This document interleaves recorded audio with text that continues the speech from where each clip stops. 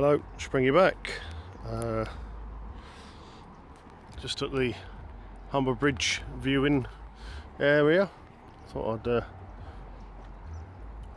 park at the back bit because uh, someone over there's uh, got a bigger bass system in their car than I have in my in my band gear.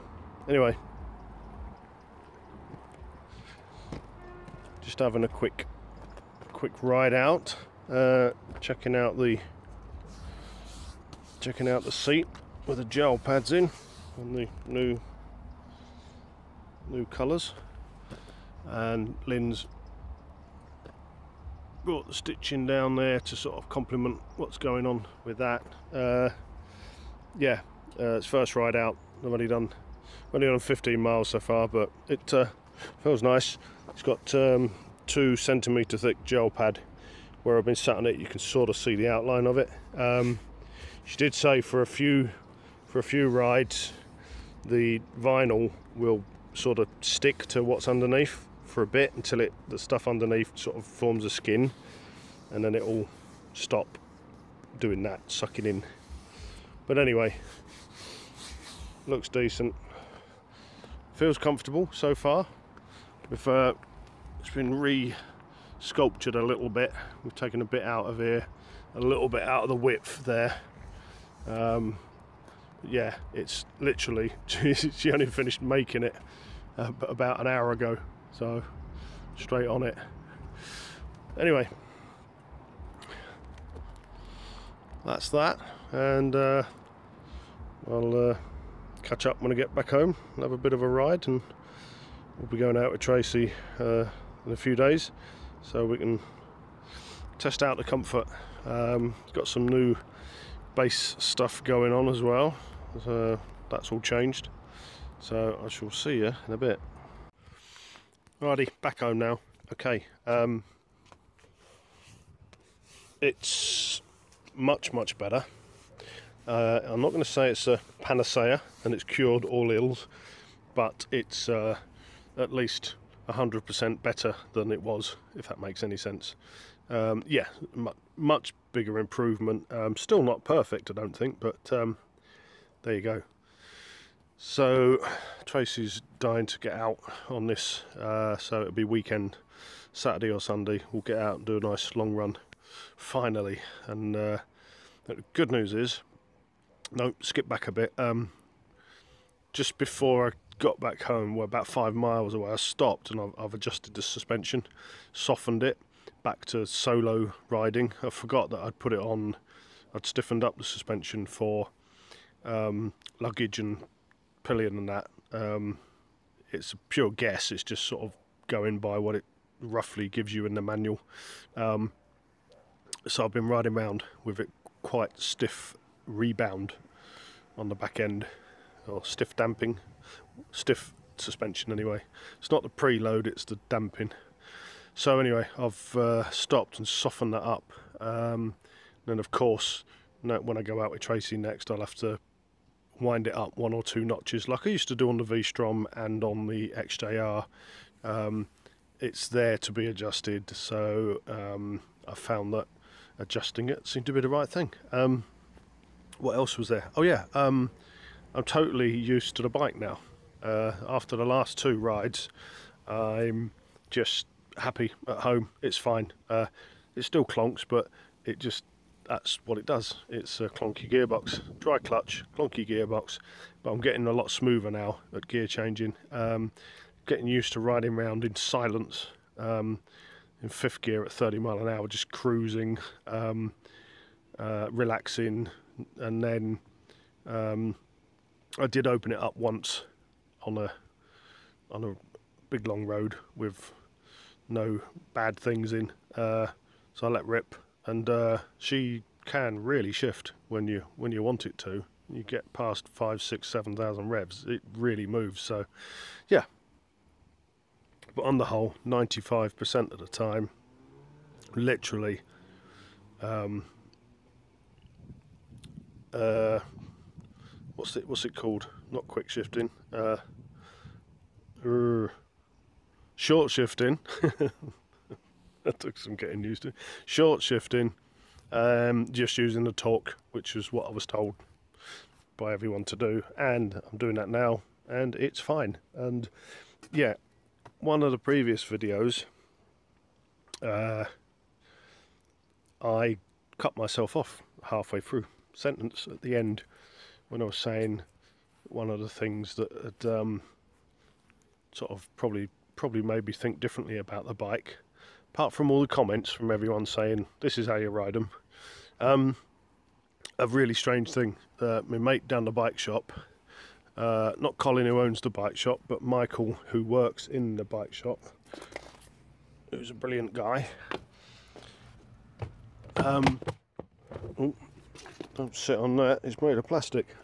Um, Michael, who works in the bike shop, uh, just bought a 1150 GS, and he said he he travelled 165 miles on a train, and then bought it, and the first 30 miles, 20, 30 miles, whatever, were in cities and towns and stuff, and he, bear in mind, this guy works in a motorbike shop, and he's done more miles in one year than I've done in a lifetime. Um, he got on this thing, and it, all he could in his head it just says, "Springy was right. This is a pile of crap. I hate this. Why have I bought this? What a pile of junk. What a clunky old bus."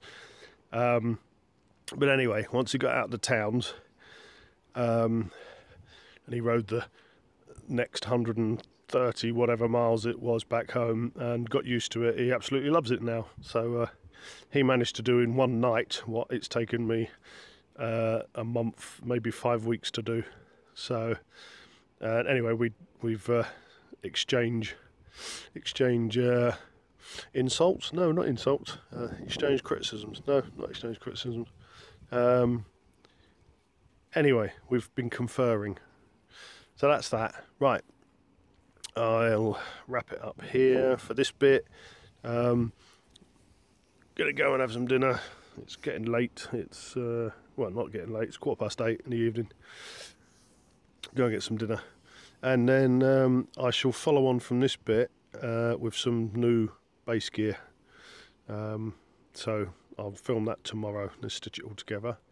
And funny enough, it's just literally started raining, so that was good timing. So um, we'll get this in the garage. So I'll see you in a bit with a bit of bass stuff. Right, uh, not on bass yet. Right, anyway, so happy now with the uh, BMW. Feels comfy-ish. Um, no, I mean, I feel comfortable with its quirks. Um, I don't think now about it's alien and different. It just feels like the BMW now. So I'm happy now, happy I bought it now. Um, absolutely love the screen. Did I say I love the screen? Uh, how many times have I told you I love the screen? That's just brilliant. Every time I come into a town or a village, I wind the screen down, get some nice air blowing across, and then when I pick up the speed outside urban, rural, um, suburban, rural areas, uh, put the screen up. Uh, yeah, amazing. So love everything about it now. I've got used to the brakes as well, which is uh, they are designed to haul you up when you and you uh, combined with two people and luggage and everything. It's about half a ton. So yeah, if you're doing a ton and it's half a ton, you need some serious brakes to pull you up, and they do. And then at low speed, you just got to be gentle with them. So I've learnt that.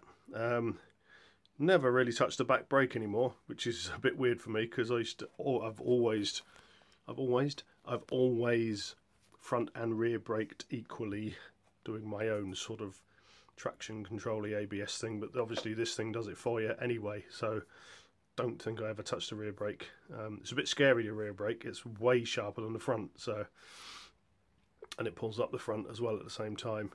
Anyway, so yes, um, so everything about it now I'm happy with. The only one thing that is really, really annoying that I do still not hate, but it's really annoying, is the stupid switchgear. I still, it's, you know, I'm, I'm four or five hundred miles in now on this bike, and I, I can find the indicators fine. I can indicate left and right, no problem, because you've got a switch on each handlebar end. That's fine, but finding the cancel switch, which is just above the right hand um, the right hand thumb lever thing uh, there's your right hand indicator there's the cancel and I, can, I, I just can't I have to look at the handlebars to find it which is really dangerous I don't always have to look but I find myself nearly turning on the heated grips and stuff um, anyway, that's the one thing now that I don't like about it. The horn is insane. It actually sounds like air horns. It's like a truck, a twin air horns on a truck. I'm sure it's not. I'm sure it's like snails, but it, it's honestly. I shall next time I do a video, or hang on, where's my keys? What I done with the keys? I don't know if it'll come out well on YouTube with the compression and everything, but uh, you would literally kill uh, pensioners and small children if you use this in a built up area. Uh, let's turn everything on. Plug your ears up. Noise alert.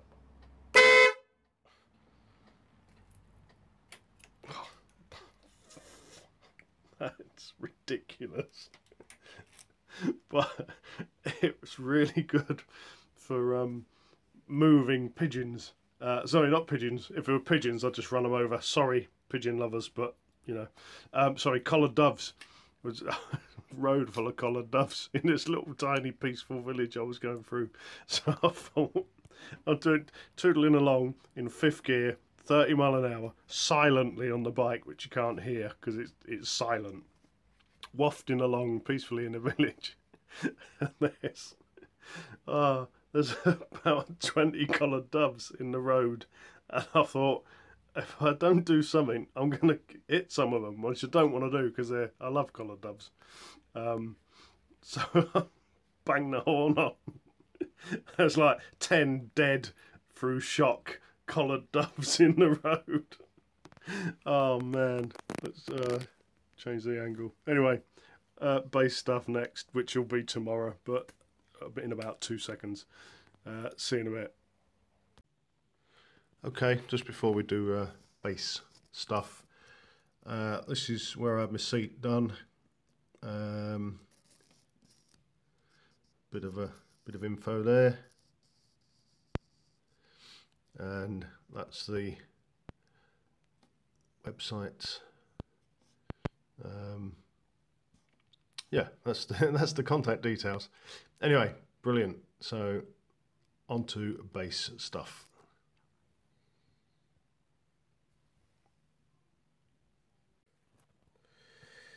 Right, bass stuff. Uh, sorry about the LED, but uh, I need that on so you can see my new bass amp. Um, the rehearsal studio we went to uh, on Tuesday, uh, fantastic. Um, a pleasure to go to, really. Really nice place. Um, what can I say about it? Uh, it was comfortable, clean, uh, lovely facilities, and um, yeah, perfect.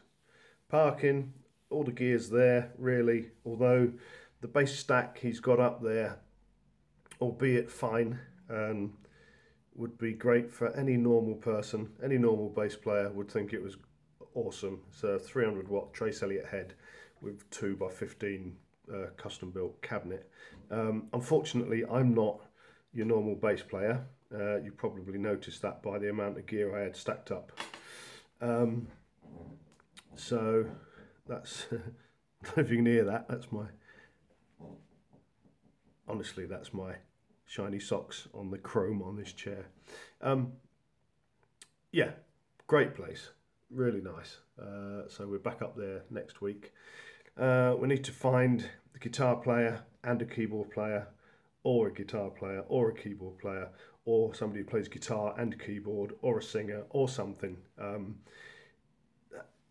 just uh, got fed up with making the same noise for the last two or three albums um, with just me and Sam.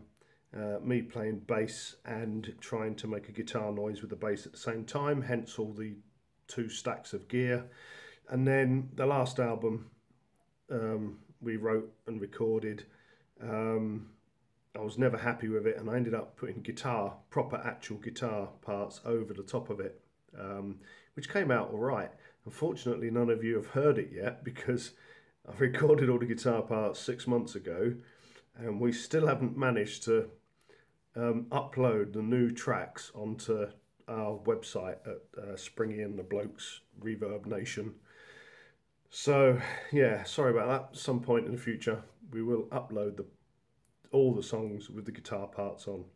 So basically, that means we need a guitar player, um, and or keyboard player. Uh, what we ended up doing on Tuesday night. Um, we ended up just doing some covers, but with drums and bass and just um, me using a um, a valve distortion pedal just so it didn't sound like just drums and bass. Um, it was fine, knocked out a couple of covers, but not ideal, not where I want to go.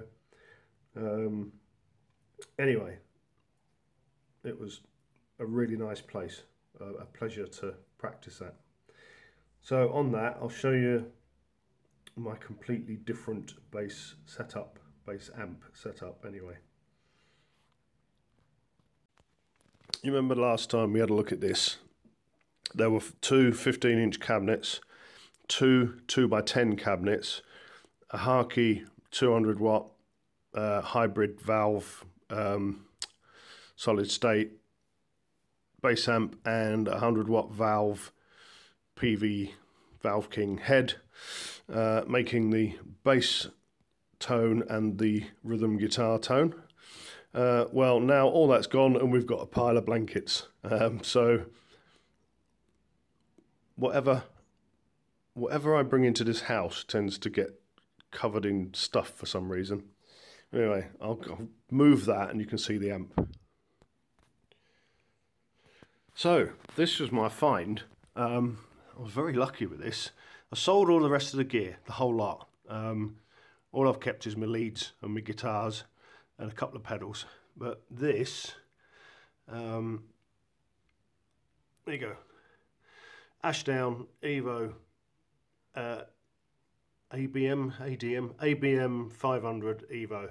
It's a 575 watt amp um, even though it says 500 there. The new version of it is actually an Evo 600, but it's the same amp at 575 watts. Um, 15 inch speaker, uh, a little dinky tweeter in there. So there is actually a tweeter in there. Can't really see it. It's in there, and a and a port. Um, I'm I always like the 15. I've got to have a 15. Um, it's just the sound I like. Um, I will hook this up at some point and give you a proper demo, but it's sort of a bit wasted on YouTube because they compress everything, and unless you're listening to it on a massive system or some decent uh, headphones, you can't really hear bass on YouTube. So anyway, what we've got, uh, right, Ashdown. Ashdown are Trace Elliot. Uh, Trace Elliot used to be Trace Elliot and then the guy who owned it sold it. Um, a couple of years later, he started Ashdown. Um, they sound, the reason I like Ashdown, I've had a couple of these before, not the 500, I've had a 300. The reason I like these is because they sound like Trace Elliot's, strangely enough, bearing in mind that's what they are. Um, so, pretty simple amp really uh, input volume. So that's like your gain, input gain. Uh, it's passive and active and passive depending on your bass. I use passive. Uh, now this, is a really good thing. Um, in is just a flat EQ. Out is a, a very typical um, smiley face uh, scooped graphic on its own. Um, which happens to be the sound I like just for bass. So we've then got this what have we got? One, two, three, four, five, six, seven band EQ, uh, which you can have on or off. Now it sounds actually it sounds great because what I do, um, you you will have noticed on my Hartke amp, I just have a scooped EQ, um, which is uh, no, it's it's that. But when I want to play a bit slap, I put the EQ in. It gives the bottom end. I've that's moved actually. Um, this is still scooped, but it's got a bit more bright and a bit more deep, so that when I'm playing slap bass, um, it just accentuates it. But when I'm doing that, I need to use a compressor. Um, because with all the extra bottom end boost and a little bit of low mid boost, high mid boost and treble on, um, when I hit it with my thumb, it farts a bit. So I use the compressor. I'm not a fan of compressors unless I'm doing slap bass and I've had the compressor on in about the middle and it stops it farting. Um, valve drive, now this is not like an overdrive or a distortion. It's basically there is a 12AX7 valve in here in the preamp stage. So if you want it to sound more sort of old school, um, there we go. My noun apnea has just kicked in, and I can't remember the name of the very famous um, bass amps that everyone uses in studios, but there you go. It'd be an Ampeg. Um, no, got it. It might come back later. Anyway, if you want that old school bass sound, um, you sort of um, Palladino, Marcus um, Pastorius, uh, Marcus Miller, that sort of old school bass sound the valve in. Um, it's a bit warmer, a slight break up on the. Um, it, it, will, as any valve, it will start to crackle and base, break up eventually. But anyway, uh, strangely enough, my preferred tone is the Trace Elliot scoop, but the solid state sound scoop, not the valve sound scoop. So that's just how I like it. Um, subharmonics. Uh, it's basically just an octave below. Um, don't use it.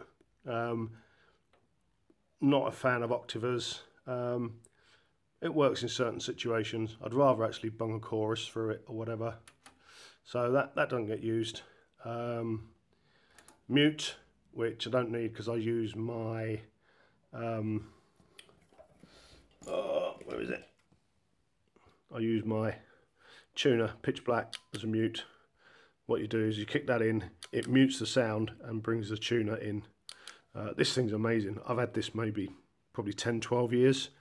It was about about just under 60 pound when I bought it, which I thought was like ridiculously expensive for a tuner.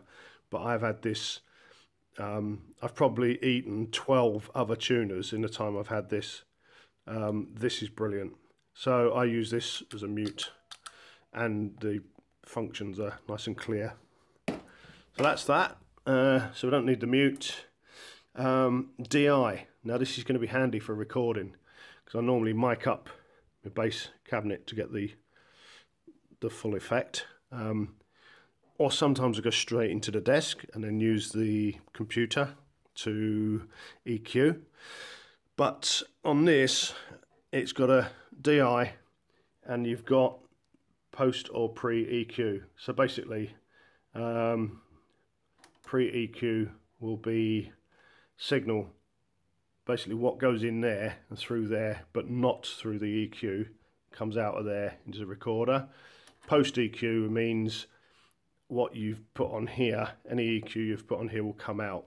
Well, you don't want that for recording, really. Well, I don't, anyway. Um, and then there's the output volume.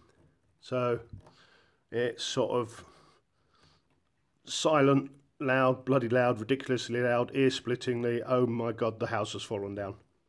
So this has basically replaced my four cabinet stack and it's as loud. Um, having to play with it a bit to get the tones, but the idea is, oh, let's stop shaking. Uh, what else? Oh, hang on. And this thing, which is made of solid, solid metal, proper steel. This is a, a heavy bit of kit. Um, that's just a foot switch so that you can turn on and off those individual bits with your little feet, which is very handy. Uh, yeah, got this. I just stumbled upon this. Um, it was, what do you call it? Um, X Demo. It's a new amp, um, but it's been in a shop as a demonstrator.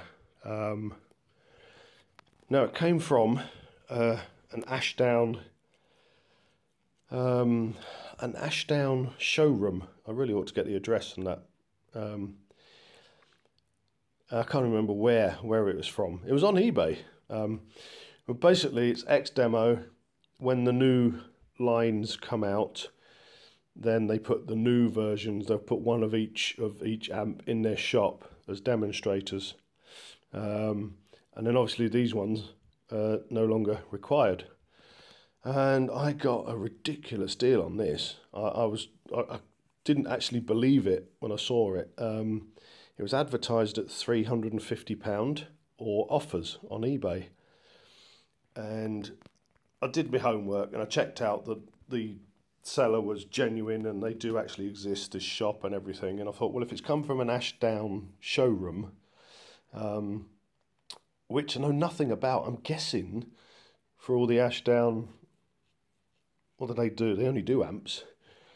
They must be a showroom maybe for dealers, music shops, dealers to come and try the equipment and or I don't know, or maybe it's like the Bang & Olufsen shop and it's just for people to come in and try something and then buy. I, I don't really.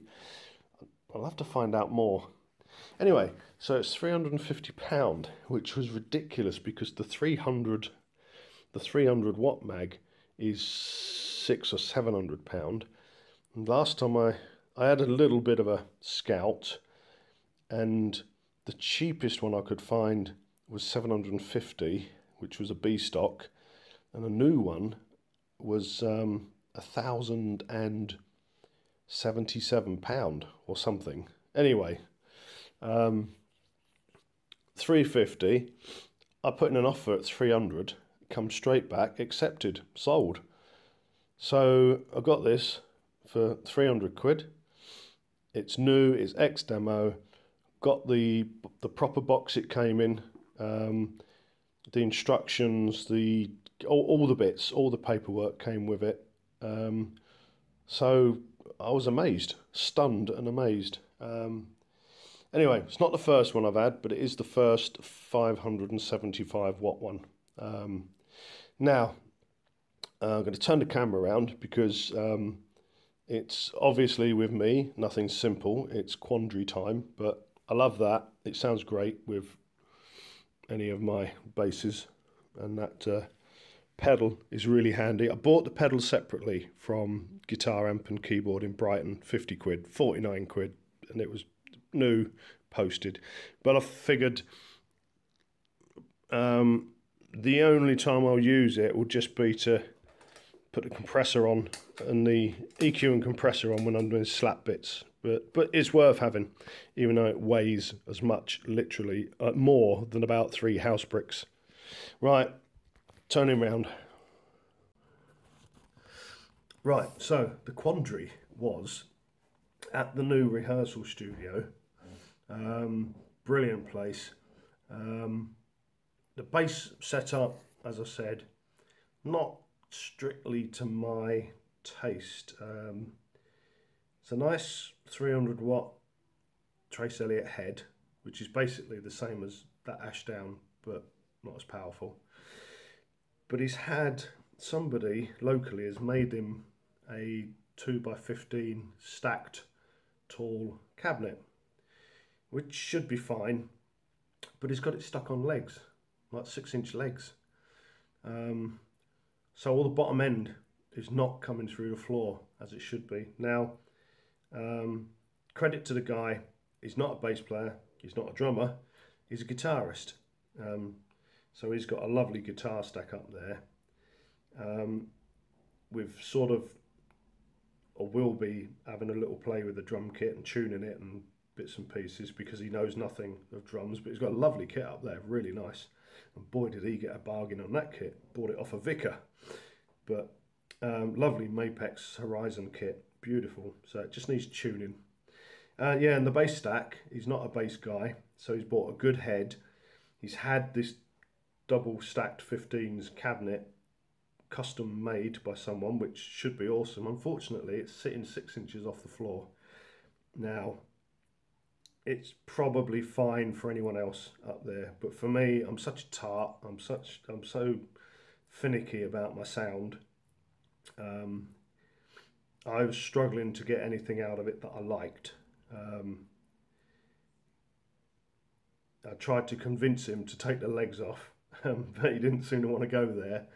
Um, so then I thought, well, I can take my Trace Elliot, uh, Trace Elliot Ashdown, same difference, sorry, uh, my amp up there and um, just use that because I can get the bass sound I like. Um, that sort of defeats the object of going up to the new studio ish because the old place we used to rehearse, we used to have to drag all of the gear out every.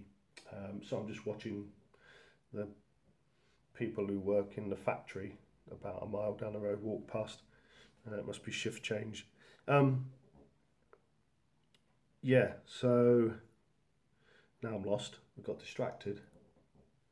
Yeah, I could take the amp up there, um, but the old place we used to have to get all the gear out. But then again, I did have four bloody great big cabinets, two amps, cables, pedals, and everything. Um, and the idea was to get away from that. I went up there with just my bass guitar in a case, uh, my bass guitar in a gig bag, and that one silver case with some leads and a pedal in it, which was luxury. Um, so this Tuesday coming, I'm not going to take my amp. Um, I had this bright idea that what I can do is use his, use his bass amp as it is, as backline, and DI it into the PA because he's got a nice PA system up there. So I'm going to try that. I'm just going to DI it direct into the PA just to give me a little bit more surround from it, a bit more depth. Um, if that works, fine. It's just one more cable to take up there. If not, um, I'll just take the, not Trace Elliot, the Ashdown with me. Um, which is happy days because it's one extremely heavy, but it's one object as opposed to four bloody great objects and two heavy amps and all the stuff that goes with it. So there you go. That's it. That's the I don't know what's with the finger today. Um, that's it. Enough of that. Um, oh, I've been having stuff looked at I'll just give you a quick, I might as well just update everything. Um, this has just become the update channel now, isn't it? There's nothing actually happens on this channel, it's just the update. Um, so on Tuesday, I'll see if I can promise, cross fingers, to actually do a bit of recording, video recording up at the rehearsal studio so you can see how we get on with the DI in the bass through the PA. You probably won't hear it because of uh, YouTube sound things, and if you, unless you've got some nice Sennheiser studio headphones on or um, a ridiculously stupid bassy um, hi-fi system. Um, I apologise for that actually. I expect plenty of you have got really nice sound systems at home or bloody decent headphones. That was really pompous of me to even be saying that, wasn't it? So no, I apologise. Um, you can have a listen through your lovely headphones or your lovely hi-fi or your brilliant TV or your lovely soundbar at maybe the difference between the two bass things. Um, never assume, Springy, it makes an ass of you and me. Right, I'll just give you a quick look out the window. Uh, how do I stop this thing? Right, so desperate to spend all the money I've earned on the outage, which it was always the intention. Um, many years ago, I had all this concreted, and for some reason, I had gravel there, and I gravel down the side. Never liked it because this tree, whatever it is, it's horrendous. It drops all different things at all different times of year. There's like constantly sap and then you've got little tiny little seeds and leaves and bits of twigs and everything. So this always looks like a crap hole. I've always wanted to block pave it. Um, block pave because there's a lot of concrete. So anyway, I've had, uh, is it one or two? No, two people have been round to do a quote for block paving this. I'm going to go for sort of charcoal grey because there's too much red brick everywhere. My house is that colour, red brick. And this side bit, that little bit up the side, which I'm always dragging the uh, slate out because I park my van right next to the fence so that I can get my motorbike out the side gate. So anyway, that is going to be concreted and then one row of um, block pavers up near the fence in case I have to ever change any fence posts, concrete ones or wooden ones. I can take out three of the block pavers and replace a post and then put the block pavers back in, which was a suggestion by one of the guys who came around and did a quote last night. I would never have thought of that. So that and that is going to be done. Um, and the dreaded carport roof, uh, which you can't see because I'm indoors, but anyway, you've seen it on many other videos. The carport roof is. Uh, I've had a quote this morning for the carport roof um, to be boarded and a one piece rubber coating all the way, um, stuck down with trims around the edge and, and guttering on the front and everything. In other words, professionally done. Uh, the guy's coming back with the quote tomorrow for me. And then in here, this bow window, bay window, whatever you call it, outside the lead flashing on top, um, which is painted with black goo, and there's some a few splits in the flashing which goes about there. Anyway, that is going to be replaced, and my I don't I can't zoom on this but that house over there, the bay window on it, is just like plain lead and it's got a little frilly bit around the edge. It, it's, if I could zoom in, I'd show you that basically that one looks really nice and posh. So I've asked him to reproduce that for me. So he's coming back with quotes. Oh dear, so there you go, there's the update. Let's turn you back round. I don't think there's anything else going on. Block pave, concrete, pave, carport roof, bay window roof. Nope, that's it, and that'll be all my money gone from from the outage. Uh, let's stop. Alrighty, that's it. What's on the telly? Who's that? What's he doing? Is that an advert? Yeah, that must be an advert. Anyway, that's me. Uh, that's everything updated. So, peace and love. Uh, I'll see you next time. I've been Springy. Take care.